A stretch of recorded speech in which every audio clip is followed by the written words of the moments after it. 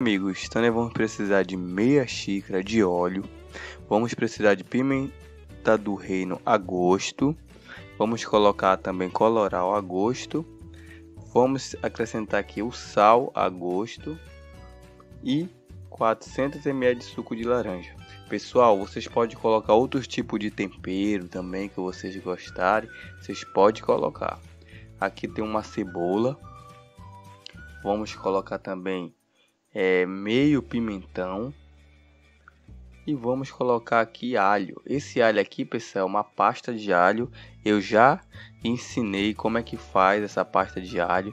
Entre aí no canal ou na descrição aqui desse vídeo vai ter o link para vocês aprenderem a fazer essa pasta de alho. Fica muito legal, pessoal, muito saborosa mesmo. Vocês vão gostar. Então depois que vocês colocaram todos esses ingredientes, vocês vão misturar um pouco vocês podem até provar para ver se tá bom de sal. Já tem a bisteca, tem a linguiça. Não tem uma quantidade de bisteca, uma quantidade de linguiça.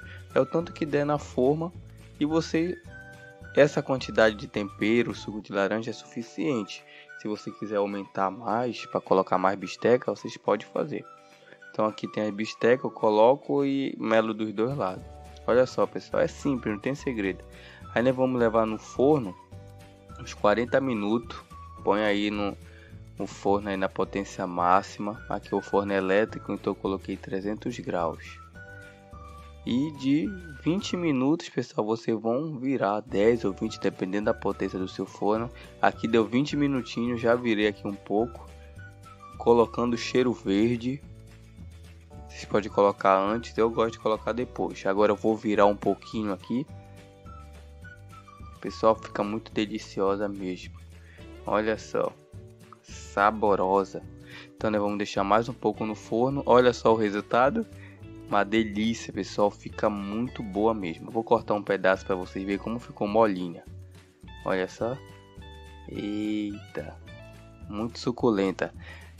Deixa eu cortar aqui a linguiça também para vocês verem. Olha, pessoal. Pessoal, se vocês gostaram, curte aqui o nosso canal, dê um joinha, se inscreva, ative o sininho para vocês receberem notificação daqui no nosso canal. Um forte abraço, valeu!